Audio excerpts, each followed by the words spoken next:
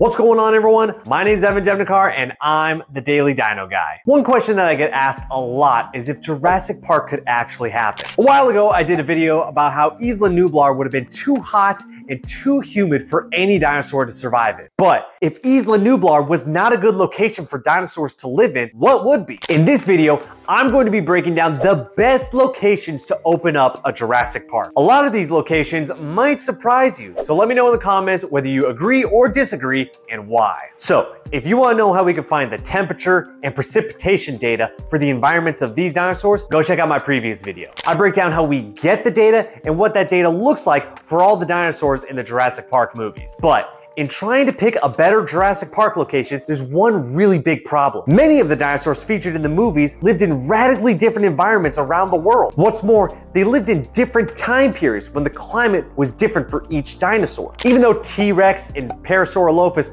both lived in North America, they're separated by millions of years. So they don't share a lot of the same environmental factors. So to get around this problem, I did a cluster analysis, which looks at groupings in the data. This will help us see see what prehistoric environments are most similar to each other, but more importantly, it shows which environments are significantly different. From those dinosaurs, the cluster analysis found that there were three distinct climate clusters. That means it would actually make more sense to make three different parks, each with their own unique dinosaur. This gets around dinosaurs living in environments that they're not actually adapted for. Once I got the range of climate data for each cluster, I then looked for modern environments that fit that range as close as possible. So, starting off, our first cluster includes Parasaurolophus, Corythosaurus, and Compsognathus. The one thing that all these dinosaurs have in common is that their environments were semi-arid. This means that they received a little over one inch or three centimeters of rain a month. They're also relatively cold, with winters dropping down into the freezing temperatures. But summers would also reach up into about 80 degrees Fahrenheit, or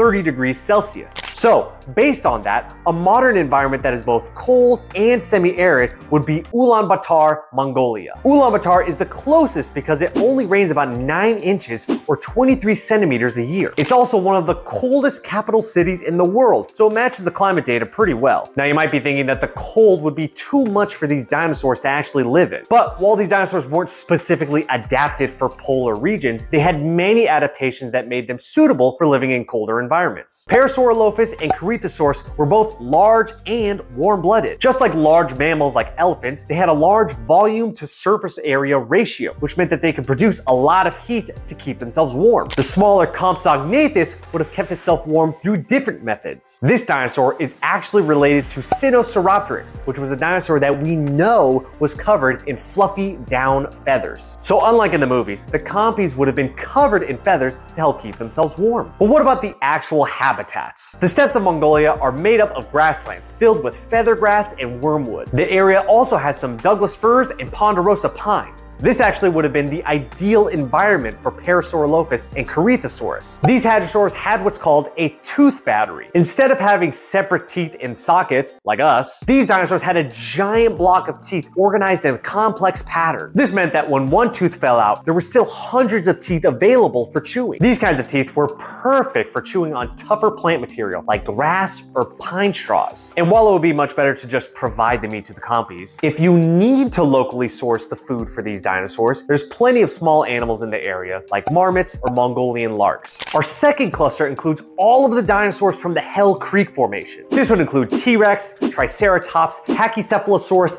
and Ankylosaurus. It also includes some dinosaurs from ancient Mongolia like Velociraptor and Gallimimus. These dinosaurs all lived in environments that were semi semi-arid, and sometimes even arid. T-Rex and the other dinosaurs it lived alongside would have only received an average of half an inch or about one centimeter of rain a month. Velociraptor and Gallimimus received even less, roughly an eighth of an inch or three millimeters. All of these dinosaurs lived in environments with pretty moderate temperatures. Winters would dip below freezing, but summers were actually pretty nice, around 68 to 86 degrees Fahrenheit or 20 to 30 degrees Celsius. Based on the climate data, the best environment that would fit this data would be Denver, Colorado. Denver doesn't rain as much, considering that it lives in the southwestern US. And because of the higher elevation, it wouldn't get too hot for these dinosaurs. It's hypothesized that Velociraptor, Gallimimus, and possibly T-Rex were feathered. This meant that they could keep themselves insulated during the winter months, just like Compsognathus. As for Triceratops and Ankylosaurus, their large size would have kept them warm, just like the hadrosaurs. But for Pachycephalosaurus, it's not quite clear how it would keep itself warm. It was warm-blooded, and while we don't have any evidence, it may have been covered in some type of filament. This is hypothesized because of an ancient relative called Psittacosaurus, which had hair-like quills on its tail. So Pachycephalosaurus may have had these hair-like quills on its tail as well, but we don't know for sure. But as far as the actual environment goes, it's kind of a mixed bag. The dinosaurs of the Hell Creek would probably fit in pretty well in Denver. By the time these dinosaurs evolved, their environments would have been filled with many of the major plant types that make up today's environments. While there were no massive grasslands, grass as a type of plant had evolved at this point. Flowering and fruit-bearing trees had also evolved at this time and were beginning to replace some of the conifers in forests. So you wouldn't need to change much for these dinosaurs at all, given the diversity of plant life. However, Velociraptor and Gallimimus both come from desert environments that coincidentally have the same climate data. Velociraptor in particular is known to have prowled sand dunes in order to search for prey.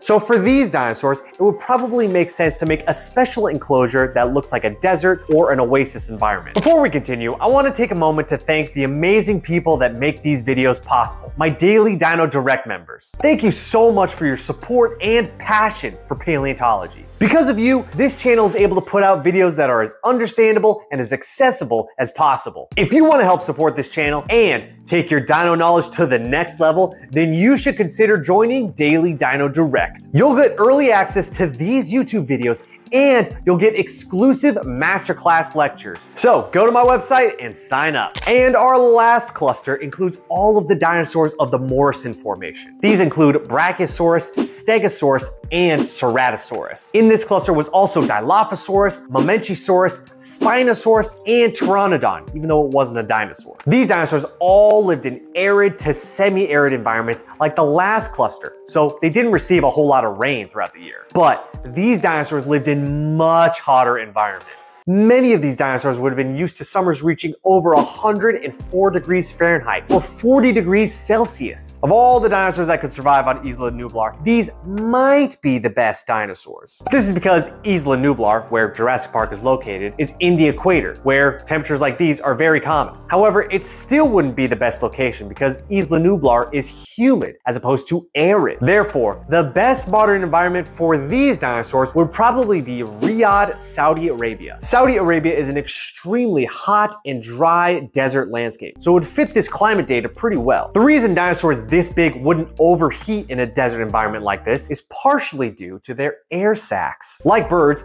dinosaurs had specialized lungs that had several chambers that would store air throughout the breathing cycle. While this made them more efficient breathers, this extra air in their body also helped keep them cool. However, out of all the dinosaurs in this cluster, Dilophosaurus is the only dinosaur that actually lived in a desert environment. So this dinosaur would fit right in without any changes. But all the other dinosaurs lived in totally different biomes. For starters, Spinosaurus lived along coastal tidal flats or large rivers, similar to modern day mangrove forests. And lots of recent research actually shows it was at least partially aquatic. It would have used a giant paddle tail to swim around and use its large jaws to feed on giant fish. Pteranodon similarly would have lived on the coast of the western interior seaway, which would have cut through North America during the late Cretaceous. So a barren desert would not be ideal for these dinosaurs. Instead, they would need a special enclosure that featured large bodies of water for fishing. Now, Brachiosaurus, Ceratosaurus, Stegosaurus, and Mamenchisaurus all lived in floodplain environments. On the outskirts of these rivers and floodplains would have been forests filled with cycads and conifers. So, the enclosure of these dinosaurs would probably need to be heavily modified to include rivers and also drought-resistant trees. And there you have it those would be the best locations for a modern day Jurassic Park. Really, the only places that would be good for dinosaurs to live in would be the poles or the equator, which is where Isla Nublar is located. Besides that, there are many places on Earth that could theoretically support dinosaurs. If you made it this far into the video, then you probably love dinosaurs as much as I do. If that's true, then you should sign up for my newsletter. Every month, I gather the cutting edge research on dinosaurs and I send it to you absolutely free. Go to my website and sign up. If you enjoyed this video, be sure to give it a like, subscribe, and hit that notification bell so you never miss an in-depth discussion on dinosaurs. And don't forget to check out Daily Dino Guy on social media for even more fascinating dinosaur facts. Until next time, keep exploring the ancient past with me, Daily Dino Guy.